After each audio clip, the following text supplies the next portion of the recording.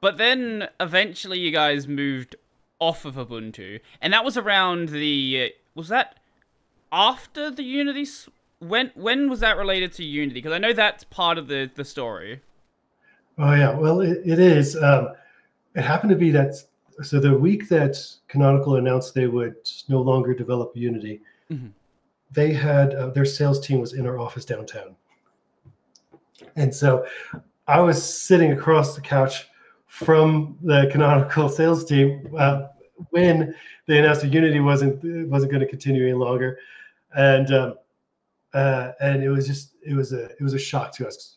I was really excited about Unity 8 and the prospects there, and the you know the, I think there's kind of this Cassandra effect that would happen with Canonical and Ubuntu sometimes, mm-hmm. to my mind at least, where uh, they had this, uh, you know, they had the right, um, they had a lot of the right ideas, mm-hmm. um, uh, and but they were just always like too early to realize them, and uh, even uh, a lot of the things I, uh, I think about we're doing today with gestures on phones, mm-hmm. they were way ahead on that with with Unity 8. Um, I think the work that they did in UX was really impressive, drove Linux ahead considerably.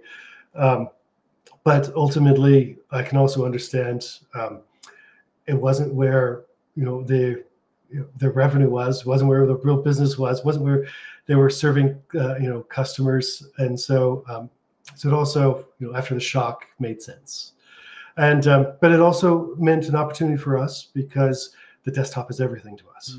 Mm. Uh, it's what uh, it's what we think about every day, like, and um, it's it matters for our business and for our customers and us personally. And so that um, while it was sad to see that go, it also seemed like an opportunity for us to kind of express the things that we wanted to do in Linux desktop that um, that we couldn't really get done through Ubuntu either. Uh, your camera just died. Oh, there it is. Okay. What happened there? Um, that was that was weird. Um, so Unity was a weird situation for Ubuntu because I know when they swapped, a lot of people didn't like it. Then when they swapped off of it, a lot of people didn't like they swapped off of it. They got used to it. So, what was like when they did swap to Unity? What was that like going from you know this GNOME thing that was established at that point to this whole new thing they had just developed? Like, were you guys worried what the experience would be like? how did how did that really go? Oh, I think we had, um, whether right or wrong, we had a lot of faith in the Ubuntu team, mm-hmm. and um, we we thought they were being careful with what they were developing, and and um, maybe perhaps it came out, out early. Mm-hmm. Uh, I know.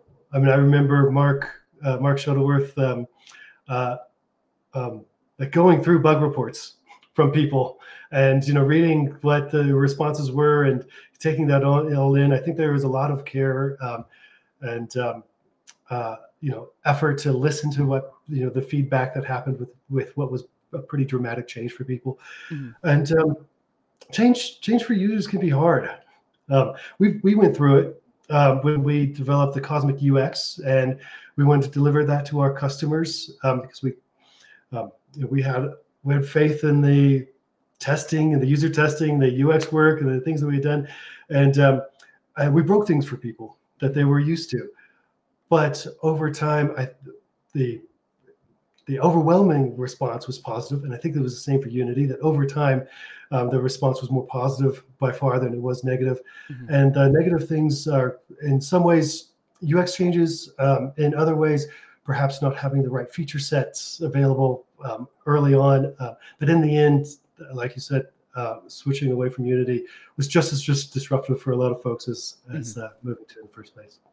Yeah, I, I can't speak specifically for Canonical, but the way it looks to me from the outside is they really overstretched. Like they wanted to get into TVs, they wanted to get into phones, they wanted to get into all of these things. Like they they had like a phone um uh, Kickstarter and Indiegogo. Like it, it seemed like they were just trying to like do too much at once, and then they had to pull back to what they knew worked, and that ended up also meaning we had to move away from what Unity was, and then move back to GNOME. And I, I am sure at that point, if you were a Unity user or if you're in that position, just the whole situation just it was confusing and it was unclear like what was really going to happen. Like, is GNOME going to be in a good state now? Is it going to be like it was before? Like, what's really, really going on here?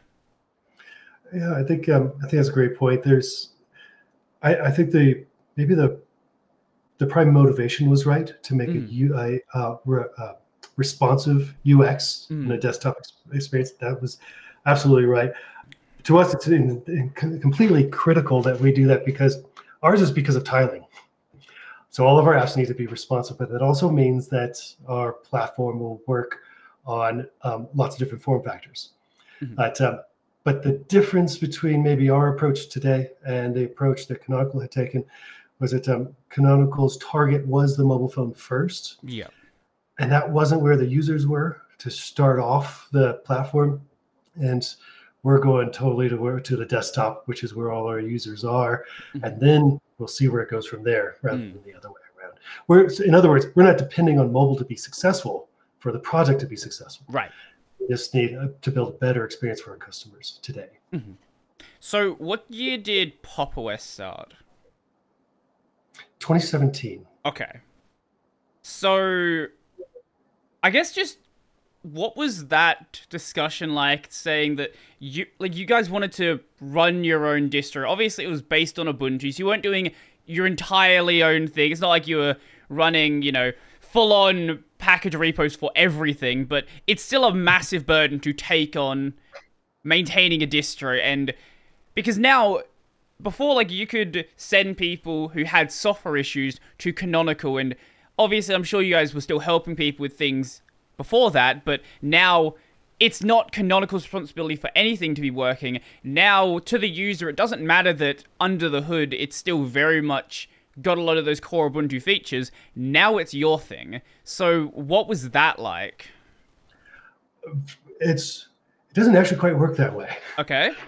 When you ship a laptop to someone, you own that experience. That's fair. That's fair. But, yeah, it doesn't matter if it's Ubuntu, and our customer would never, wouldn't even expect to go to Canonical for help. Okay, um, they call us for help, whether it's software or, and and um, a lot of the experience is really how well um, the operating system um, is uh, adapted to work with the hardware. Mm-hmm. So by that time, we were already rolling our own kernels, a lot of times Mesa, a lot of uh, large parts of the stack um, because we wanted to be a zero day hardware manufacturer for Linux. Meaning that when Intel has brand new chips, when NVIDIA does, when um, uh, uh AMD or whomever, mm-hmm. um, that you can get that brand new you know, Meteor Lake, which is you know around the corner, Meteor Lake laptop with Linux on it, um, and you don't have to wait six months for Linux to catch up. Mm-hmm. You know, a lot of that happens upstream with mm-hmm. Intel and AMD, but um, getting it packaged and getting a good experience in the distro that was all, that was our responsibility. Mm-hmm. So um, so we had um, we were already doing a lot of it. The um, what what was added on, especially for the first release, is uh, is our thinking of okay, well now let's take this operating system and let's make it match the aesthetic of uh, System 76. So uh, when you get a when you come to our when you maybe customer experience starts with an ad that has you know color, the coloring the brand feel of system 76 and then that takes you to the website that has the same feel and then you get the product that has uh, you know the same character and characteristics and then you start it and now it looks uh, similar i think that is a really high quality experience that we wanted to start to deliver mm-hmm. and um, the first release was about doing that let's set our aesthetic Mm-hmm. And then from there, we started chopping off the pieces that we knew our customers needed um, or were requesting. Mm-hmm. Like full uh, full disk encryption was a huge one uh, that we couldn't do as an OEM. Um, because if you do full disk encryption and uh, load the image and ship it, that means you have the key, and that's not right. That's not secure. So um, we needed to build a, we need to write a new installer to make that possible. If we're writing a new installer, how about we have a restore partition, partition um, because when our customer has a problem, they call tech support, we can fix it in five minutes for them mm-hmm. um, without, you know, losing you know, files and, and uh, apps, things like that. So, so then after that, we started adding our own uh, value based on the experiences that we had with our customers and um, uh, really just kind of making things smoother and easier for them. Mm-hmm.